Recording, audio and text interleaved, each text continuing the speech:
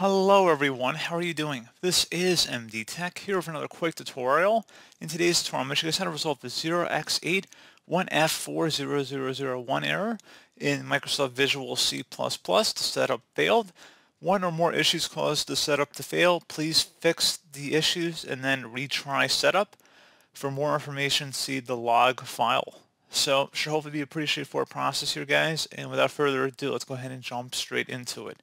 So first thing I'd recommend doing would be to open up the search menu, type in apps and features. Best result should come back with apps and features. Go ahead and open that up. On the right side, in the apps list field, go ahead and search for Visual C.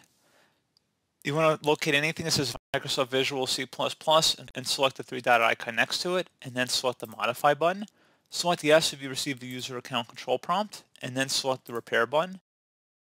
And if you see more than one C++ entry in here, you want to go ahead and do it for all of them and then restart. So don't select restart at least after the first one. You want to do all of them in here and then proceed to close out of here and then restart your computer.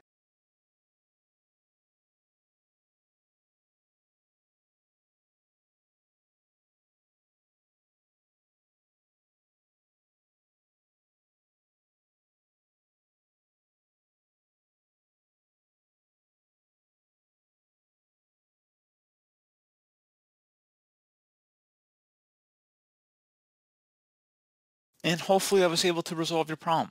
So as always, thank you guys for watching this brief tutorial. I do hope I was able to help you out, and I do look forward to catching you all in the next tutorial. Goodbye.